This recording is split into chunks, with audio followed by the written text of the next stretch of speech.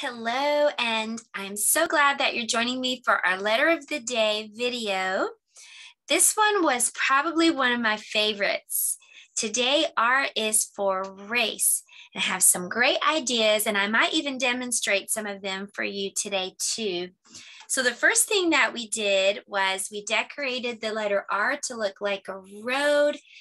And then, if you want to, you can take a Hot Wheel car and you can practice that letter R just by rolling your Hot Wheel car along. So that's great for letter recognition and even practice kind of like handwriting practice, but you're writing with your let with your little car that's going around the letter. So next, um, we talked about the sound that letter R makes. Well, we practice writing letter R, and R is just a one and a bubble and a slide. And the little R looks like a rainbow. It's just a little one, and then you come over like a rainbow. I have other videos where I've done letter R for handwriting. Just go check any of those out. But um, we did something fun for the letter sound. So we, I told the kids that letter R makes this sound. So you have to take your top teeth and put them on your bottom lip. It sounds kind of like we're firing up a race car. So let's put your key in the ignition and say, and get in your race car. Why don't we drive our race cars over to the racetrack and have a race right now? So here we are outside on the racetrack. Do you want to have a race with me? All our friends and family are watching and they're going to cheer us on. All right, so let's get in our race cars. Are you ready? We're going to start our engines. What does letter R say? R, R, R. Three, two, one, go. What does R say? I see a curve. I see a curve coming up right there. So let's turn everybody.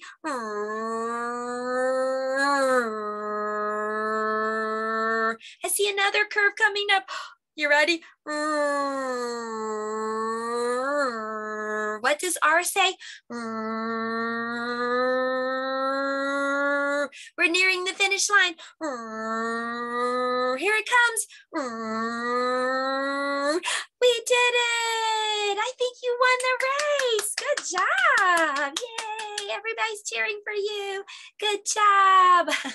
Let's head back into the classroom and we'll wrap up and I'll show you some more ideas.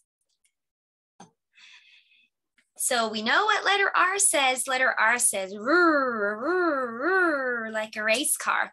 We did some blending today. We've also been working, this is the fifth go around. If you've been joining me for this whole school year, and during this fifth go around, we're adding sight words. So today's sight word was run. And I'll just show you really quickly what we do for sight words. We build the sight words using these magnets and you can get the real magnets and do this activity if you want to at home. R, U, and that word is run. And then we practice writing it. And I just told the kids to make that little R. We'd already practiced how to write it. So that was easy. And I told them you have to put your finger right beside the R to kind of hold the space and then write the letter U. That helps as kids are beginning to write more than just one letter at a time so they don't squeeze all their letters or so they don't spread them out too far. Your finger makes a great placeholder.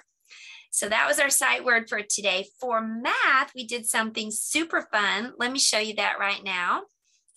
And you can get links to all of these things and the weekly lesson plan at my website so that you can do all of these things. It's completely free. So you can do these things together at home each day. So here's a little race car and we raced it around the racetrack. I'm not going to play with you right now, but I will demonstrate this for you. And let me tell you something about the cars at the top. If you cut out the little car at the top, it's going to look like it's really long and it's not going to fit on the playing board in the little spaces. But what you have to do, what you're supposed to do is fold it in half and then fold this side and that side out. I'll try to get a little closer look for you. So there you go. So that makes the little windows. So that makes it fit. So now it's not so long. It's it's folded and the little window is up. So there you go. That's that's how you make the car so it fits in the little space. And so what we did today was we took two dice and I taught how to count on. So we're gonna roll the dice. Okay, so take a look right here. Tell me which one of these has more dots, the red or the blue? The red has more dots. So how many dots are on the red? One, two, three, four. So we're going to start with the bigger number, four, and we're going to count on.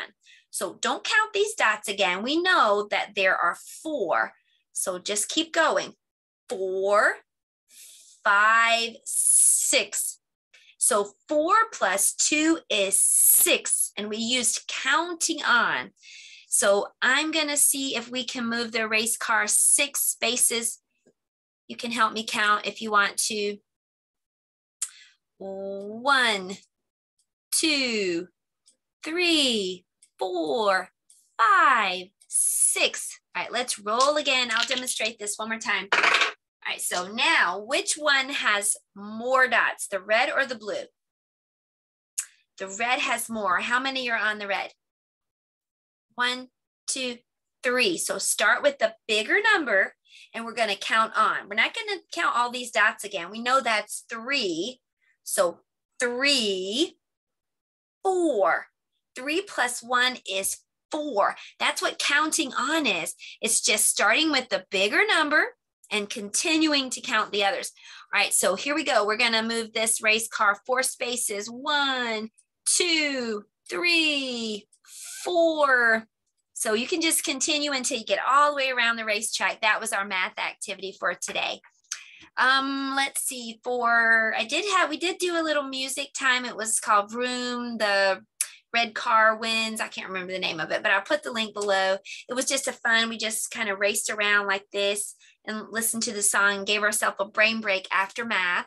And then after that, we did some art and the story or not the story but the song talked about a red race car so i said let's make a red race car and you don't have to make a red race car it could be any color but you could paint a toilet tube and then um, the next thing you can do i'm going to show you real quick is you can take the toilet tube and kind of bend it flat like that and take your scissors you might have to get a grown up for this part and make an l shape in the toilet roll and then kind of flatten it back or roll it back out so that it's a circle again.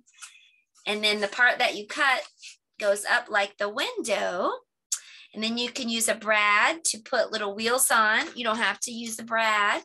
I made a black circle and a white circle and put that on top. You could also just glue it if you don't have brads. So you can make a little race car room for your art project today. For science, I think this was my favorite part. We learned a new word called viscosity. Can you say viscosity? I'm going to head over to the science table with you right now and I'll tell you what viscosity means. Let's go. Okay, so viscosity means how fast or slow a liquid will flow. So I have some liquids here. What is that? That's pancake syrup. And I'm going to put some liquids down on this little board. And we're going to see which one flows the fastest. We're going to have a race. So what is that? What's that stuff? Ketchup. That's ketchup. So let's put some ketchup right beside the syrup.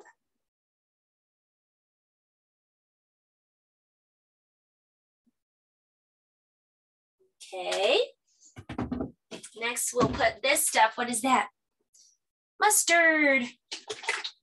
Let's put some mustard down. All right, next we have honey. This is honey. And I'm gonna just put a little honey right here.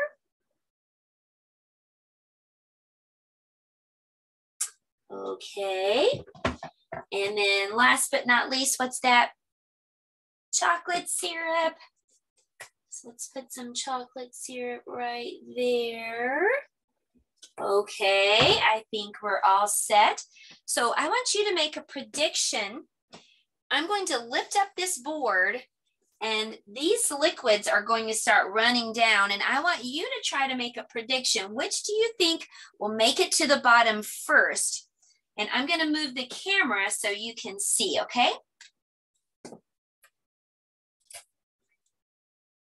Okay, so make your guess. Which one of these liquids do you think will come in first? And you can even make second, third, fourth, fifth choices if you'd like to. All right, so here we go. Let's get ready to race. On your marks, get set, go. Let's see which one is going to be in first place. Oh, wow, definitely the syrup is moving ahead of all the others. Did you guess syrup was going to be first? If you did, you were right. Let's see which one is going to be second. Oh, I think the chocolate syrup is off to a great start, but the honey is catching up quickly. And look at the ketchup. It's on the move now too. Mustard, not so much. The mustard is still at the top. Which one do you think will be second? Will it be the honey or will it be the chocolate syrup? Hmm, there they go. They're off. I think the honey is pulling ahead. Mustard, you're getting going, but you're pretty slow back there. Gonna move on, mustard. Oh, second place, I think, goes to the honey. Let's see which one will be third place.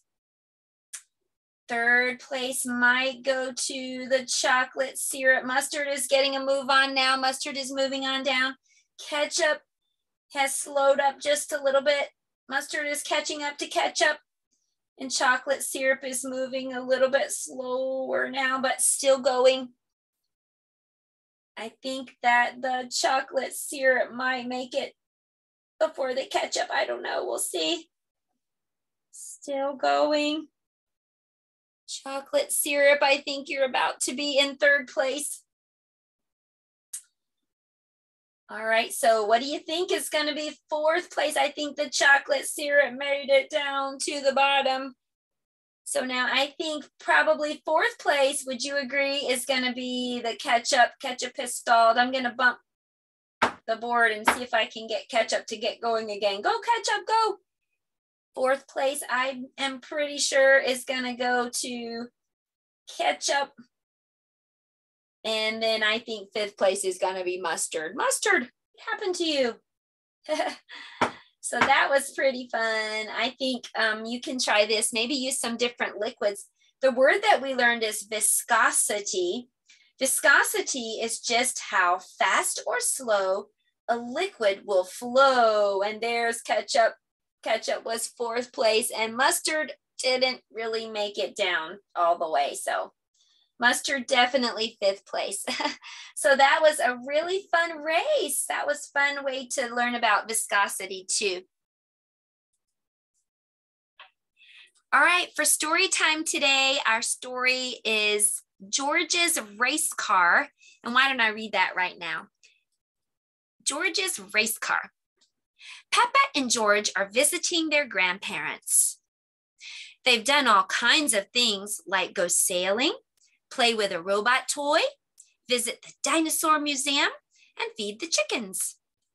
Now Daddy Pig has arrived and are watching television. They're all watching television together.